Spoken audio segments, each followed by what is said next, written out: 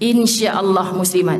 Tahun 2020 kita belajar lagi sebab panjang lagi ni 2020. Ha, berapa lama lagi 2020 muslimat?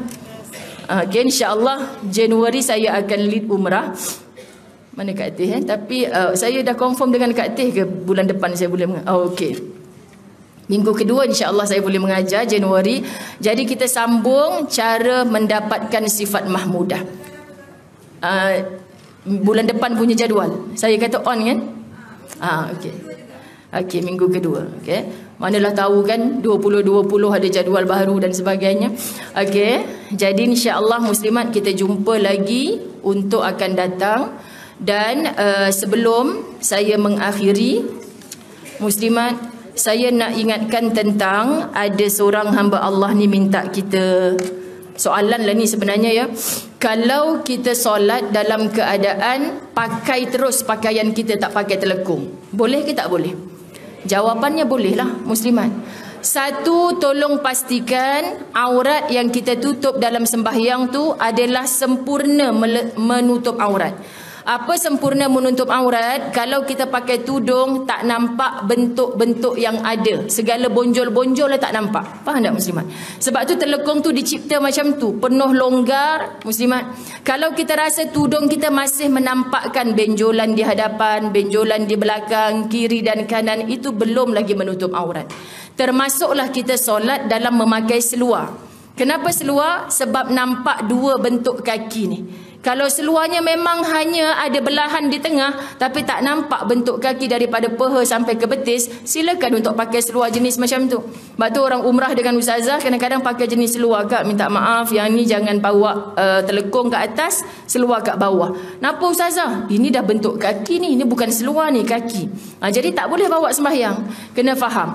Jubah tangan panjang tapi bila kita rokok sujud nampak jelas bentuk-bentuknya muslimat dirahmati Allah Subhanallah sebab itu wahai muslimah berpakaianlah seperti mana ketika kita disuruh berpakaian dalam solat. Supaya nak singgah kat mana-mana tanpa telekung yang bersih, kita lengkap menutup aurat dengan sempurna. Ha, tolong ya, sayang sebab yang hadir majlis ilmu ni insya-Allah orang yang dah tak tinggal solat. Walaupun dalam musafir, walaupun dalam mana-mana. Ha, jadi jangan batalkan pahala sembahyang kita tu dengan tidak menutup aurat dengan sempurna. Ada soalan? Yang perlu diraihkan yang meronta-ronta jiwanya nak tanya juga. Ha. saya kena tanya soalan ni pada tahun 2019 Ustazah. Kalau 2020 dah basi dah. Ha, itu tanya soalan. Tapi kalau rasa 2020 boleh tanya lagi berdoalah kita mudah-mudahan panjang umur penuh barakah. Muslimat dirahmati Allah saya bekalkan hari ini mudah-mudahan cukup kalender hadiah daripada Al-Fawaz Travel. Jadi siapa yang memang nak menuntutnya insya-Allah cukup kot kadar jumlah ni. Eh, tapi orang lain uh, tak dapatlah sebab saya tempah seribu nak habis dah uh, untuk hari ni. Muslimat dirahmati Allah satu uh, tapi kalau rasa balik rumah tak digantung tak bermakna untuk dia mengalahlah pada orang yang tak dapat uh, ni uh, ambil je lah sebab ustazah bagi. Kita kadang-kadang bila benda free muslimat kita berebut nak ambil. Tapi rupanya kita melakukan pembaziran. Orang yang macam ni minta maaf sebut sebab dia hanya biasa menerima dia tak biasa memberi bila orang biasa memberi muslimat, dia nak apa yang dia dapat tu manfaatkan supaya orang yang memberi mendapat manfaat juga. Apa manfaatnya? Pahala sebab memanfaatkan pemberiannya. Okey, saya bukan nak berkira-kira pada hari ini, tapi maksudnya jangan bergaduh. Kalau tak cukup yang kat luar tu insya-Allah boleh dapat lagi dalam kereta saya. Kemudian ada kurma ajwa dari Madinah sekilo RM100, ada 10 saja siapa yang nak dapatkan di luar masjid. Eh di luar perkarangan masjid soalan. Ada soalan. Soalan empat. Satu. Ah, okey. Siapa tukang tengoknya survey teropong? Okey. Ah, okey. So satu soalan, Kak Teh.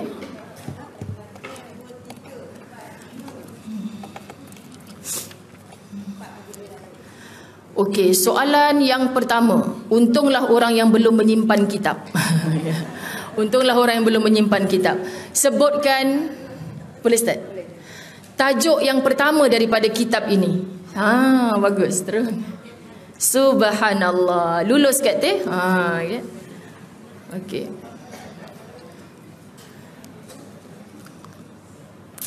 Baik, terima kasih. Baik, Ada lagi kat teh? Soalan kedua. Ha, okay, soalan kedua.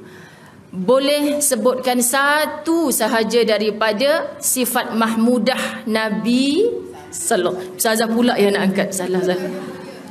Ustaz. Oh, okey. Tak menjawab sebab sifat mahmudah ni kita tak boleh sebut akhlak mulia. Tadi kita belajar macam-macam cara Nabi. Sebutkan satu. Saya tutup mata ni kat teh yang jauh. Ah, okey, belah sana. Okey, satu daripada sifat mahmudah tu maksud akhlak mulia Nabi sallallahu alaihi wasallam.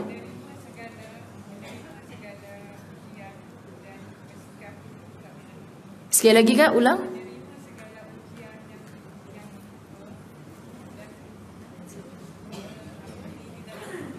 Okey baik saya faham maksud menerima segala ujian dengan sifat terbuka. Okey kawan kita dah jawab kita boleh mengiyakan tak jawapan Alah tak ramai. Kita boleh mengiyakan tak jawapan ni? Makna muslimat dirahmati Allah kalau kita boleh lafaz kat lisan segala ujian terima insya-Allah kita jadi manusia yang redha. Ah layak dapat hadiah. Okey berikan saya tajuk kepada kuliah kita yang tertangguh. Tajuk yang keempat daripada kitab ini. Kuat sikit tak? Cara mendapatkan sifat mahmudah. Masya Allah, tabarakallah, Alhamdulillah. Okey. Soalan yang terakhir. Siapa nak ulang nyanyi saya tadi tu? Walaupun Walaupun secoet aja jadilah yang dia ingat sikit-sikit. Secoet pun jadilah.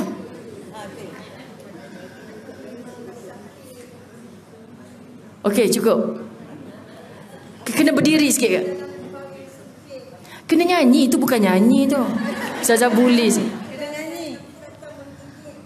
Aha. Kena nyanyi. Nyanyi. Baik-baik Alhamdulillah Sebenarnya itulah liriknya muslimat kan ha, Cuba dengar betul-betul. Mati itu terlalu sakit Di dalam kubur Tempat yang sempit. Ular dan kala datang menggigit Papan dan bumi pula menghimpit Itu baru satu rangkap tu Nasyid tu panjang Dulu saya tengah dengan ustaz saya cerita Bila dah belajar tentang kitab mati ni muslimat Oh makin lama makin ngeri Jadi layaklah Kak Teh dapat hadiah Sebab apa? Sebab liriknya kena ha, Jadi walaupun kita tak menyanyi Bila dengar lagu-lagu nasyid ni Hayati liriknya Mudah-mudahan Tajuk ni saya pun tak ingat ya. Sebab lagu masa sekolah rendah dulu. Ah, suruh lagi nyanyi? Ada dua hadiah lagi. Okey. Okey. Mati uh, Kak, Kak Mimi kena raikan ke? Ada orang suruh ulang lagu tu. Lagu tu kena ulang tahun 2020 lah. Takut ada yang suami tunggu dekat depan. Okey, soalan yang seterusnya. Muslimat dirahmati Allah. Dah habis dah soalan ni macam mana? Uh, Okey. Sebutkan satu lagi sifat mahmudah selain daripada ujian. Okey, sila. Siapa yang Kak Teh tunjuk ni? Tudung biru, tudung hijau. Mhm. Oh. Dah tu tu. Nampak dia mula. Okey. Ya, ya. Ah, ya Kak sila. Bagus, Masya Allah. Kita cakap, kita buat kan? Eh? Hmm, kita cakap, kita buat. Sebenarnya muslimat, benda macam ni bagus juga. Sebab bila kita dapat hadiah, tak payah intai hadiah tu apa. Sebab aku jawab menziarahi orang yang sakit lah aku dapat hadiah hari tu. Kadang-kadang ini cara Allah mentarbiah kita. Muhasabah. Jawapan tu betul, adakah aku seorang yang kerap menziarahi orang sakit? Ha, ini sepatutnya bukan hadiah apa yang kita dapat lah. Okay? Yang terakhir, ada satu nama Allah yang saya ceritakan tadi. Okey, jangan marah Ustazah ah, sebab orang sana pula pilih. Asyahid, betul. Okey, kalau tak ada apa insya-Allah kita nak tutup dengan doa. Habis dah? Okey. Aku ingat ada 100 hadiah lagi kan? Bismillahirrahmanirrahim. Allahumma salli ala sayyidina Muhammad. Ya Allah, Ya Tuhan kami, kami pohon kepadamu, wahai Allah, ampunkan segala dosa dan kesalahan kami yang tidak terhitung banyaknya, Ya Allah. Takutnya kami dimatikan dalam keadaan dosa-dosa kami yang tidak sudi Engkau ampunkan ya Allah. Ampunkan segala dosa dan kesalahan kami sebelum tarikh kematian kami ya Allah. Tuhan kami ampunkan juga dosa-dosa pasangan kami Suami kami, lelaki-lelaki yang melindungi kami Wahai Allah. Kasihani mereka yang terpikul di atas bahu mereka Pelbagai tanggungjawab yang akan ditanya satu persatu Ketika berseorangan berdiri di hadapanmu di mahsyar kelak. Ya Allah kasihani suami kami engkau berikan mereka petunjuk hidayah dan taufikmu agar mampu mereka memimpin tangan-tangan kami ke jalan-jalan syurgamu mampu mereka menarik tangan-tangan kami daripada jurang-jurang api nerakamu. Ya Allah ampunkan juga dosa-dosa anak-anak dan seluruh keturunan kami ya Allah. Kasihani anak-anak kami yang hidup di akhir zaman yang penuh dengan fitnah dan mehnah ya Allah. Engkau lindungi anak-anak kami walau di mana mereka berada ya Allah. Mereka lah anak-anak orang Islam yang menjadi pencorak Islam di masa akan datang wahai Allah. Jangan gelincirkan anak-anak kami daripada landasan Quran dan sunnah Nabi Muhammad sallallahu alaihi wasallam ya Rahman ya Rahim yang Maha Ghaffar. Kami pohon ampunkan dosa-dosa ibu dan ayah yang kami kasihi wahai Allah. Ibu dan ayah kami yang berada di penghujung usia dalam tua sakit dan uzur. Engkau izinkan mereka terus-terusan mampu mengabdi diri kepadamu sehingga ke akhir hayat mereka wahai Allah. Ibu dan ayah kami yang telah berada di barzakh engkau lapangkan kubur mereka ya Allah.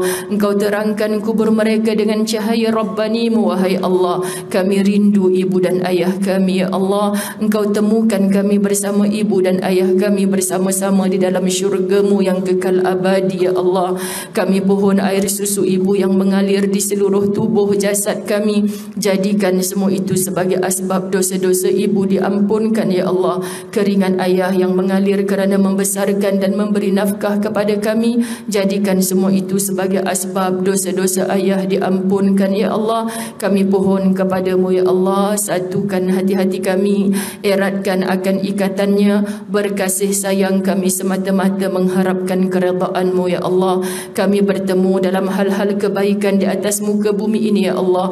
Engkau temukan kami sekali lagi di tempat yang paling baik apabila berada di kampung akhirat kelak ya Allah. Itulah syurgamu tempat berkumpulnya orang-orang yang baik ya Allah. Tuhan kami yang maha rahman maha rahim kami pohon di pengakhir kuliah yang ke-100 di Masjid Ibnu Abbas ini wahai Allah. Engkau berkati setiap ilmu yang kami pelajari ya Allah. Engkau berkati setiap usaha di setiap helaan nafas kami wahai Allah. Dan Engkau ganda-gandakan nikmat dan kesihatan kepada kami untuk tahun-tahun yang akan datang wahai Allah. Engkau takdirkan kaki kami sentiasa melangkah ke tempat-tempat yang baik wahai Allah. Engkau izinkan seluruh hati-hati kami sentiasa tunduk berada di jalan-jalanmu wahai Allah. Kami pohon sejahterakan guru-guru kami yang mencurahkan ilmu kepada kami wahai Allah. Kuatkan jiwa-jiwa kami ya Allah untuk beramal dengan ilmu yang kami pelajari ya Allah. Kami pohon terangkan hati-hati kami wahai Allah. Engkau yang memberi faham kepada setiap hambamu maka pilihlah kami menjadi hamba yang engkau beri faham ya Allah. Kerana hanya hamba-hamba yang engkau sayang yang engkau beri faham dalam agama. Kami pohon andai engkau mentakdirkan kami mati ya Allah. Matikan kami dalam husnul khatimah kesudahan yang baik ya Allah. Matikan kami dalam radiyatan mardiyah. Kami reda bertemu denganmu dan engkau jauh lebih reda bertemu dengan kami ya Allah. Matikan kami dengan kalbun salim hati yang benar-benar sejahtera ya Allah. Hati yang telah beramal dengan sifat-sifat mahmudah yang mampu membunuh sifat-sifat mazmumah yang segala keji wahai Allah. Kami pohon bantuan daripadamu wahai Allah. Berikan kami petunjuk hidayah dan taufikmu hidup dan matikan kami dalam nikmat Islam dan iman ya Allah. Rabbana atina fid dunya hasanah wa fil akhirati hasanah wa qina adzaban nar wa qina adzaban nar wa qina adzaban benar jauhkan kami dari neraka-Mu yang menyala-nyala itu ya Allah. Wa sallallahu ala sayyidina Muhammad. Walhamdulillahi rabbil alamin Alhamdulillah saya pohon ampun maaf zahir batin. Terima kasih banyak-banyak. Assalamualaikum warahmatullahi wabarakatuh